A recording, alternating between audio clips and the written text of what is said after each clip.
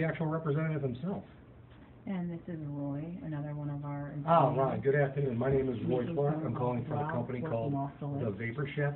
Of over two hundred lawmakers. It's out of. Bristol, Pennsylvania, but I have customers in your district that I'm kinda calling on behalf of. Basically, I'm asking you to co-sponsor Representative Wheeland's, uh, amendment to the forty percent e-cigarette tax.